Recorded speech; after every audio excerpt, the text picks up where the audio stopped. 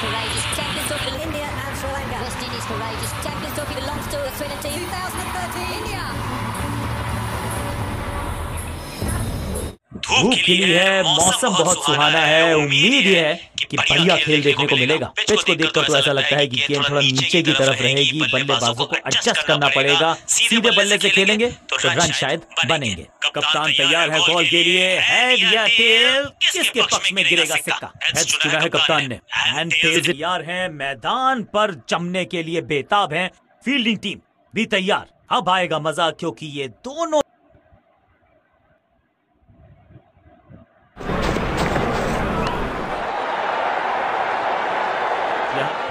Medium pacer को बुलाया है अटैक पर। ज़बरदस्त डॉट गेम आज तो बहुत चाहते हैं साइड बदली है लेकिन क्या भाग्य बदलेगा गेंदबाज? बल्लेबाजी की टेक्स्ट बुक नहीं लिख रहे हैं ये जनाब। स्टैंड में फील्डर नहीं होते। वही पेस का प्लान है। फास्ट बॉलर बुलाया गया ऊँची तो बहुत गई है लेकिन ज़्यादा दूर नहीं। समस्या बल्लेबाज।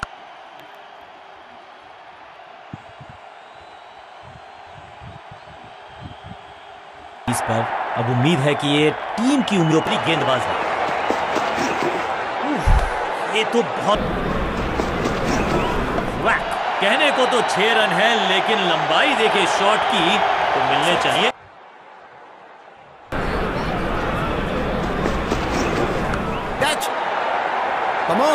बॉलर को कप्तान ने मीडियम पेसर को बुलाया है अटैक बल्लेबाज शॉट बॉल को. फुल लगा के लेग साइड पे भेजा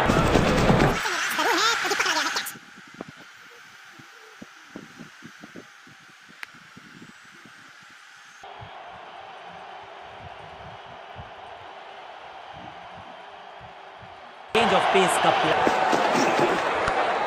Catch it.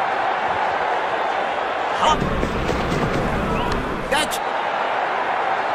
सही जजमेंट का सही नतीजा बढ़िया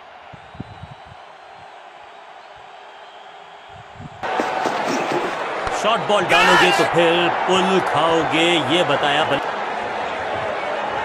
टोटल बहुत ज़्यादा बड़ा नहीं है पिच भी ज़्यादा कठिन नहीं है, लेकिन भाग्य का क्या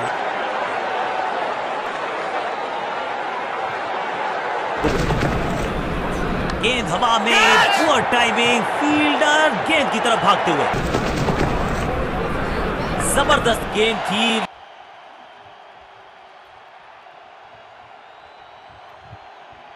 इन्हें सिर्फ़ अपने बेसिक्स के साथ जुड़े रहना है, अगर बड़ी हो सकती है। ऑफ़ स्पिनर को विकेट चेक यू मिस आई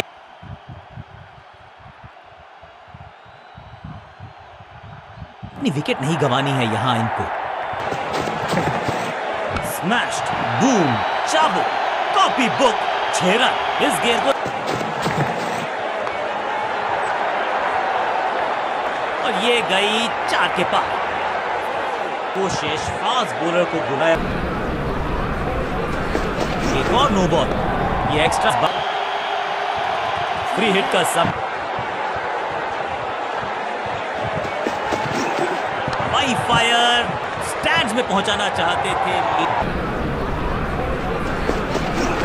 स्मैक छह नहीं, आठ नहीं, दस रन दीजिए इस शॉट को।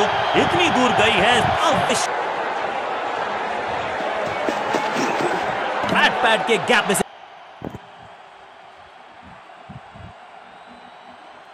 इस पर आए हैं नए बल्लेबाज।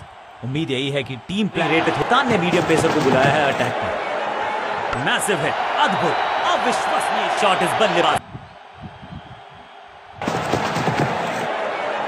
गेंद की पिच तक पहुँचे और पिच के बाहर मारने का किया है ओवर स्टेपिंग यानी कि ओवर में एक्स्ट्रा डिसाइड की है अंपायर समय है। ऑफ़ साइड के क्षेत्र में हवा में मारा है शॉट। लॉफ्टेड इस बॉल को रोक किसी को मिली जीत, किसी को मिली हार। मुकाबला देखें तो रहा ये बहुत ही क्लोजली कॉन्टेस्टेड गेम जीतने वाली टीम को बहुत सारी शुभकामनाएँ।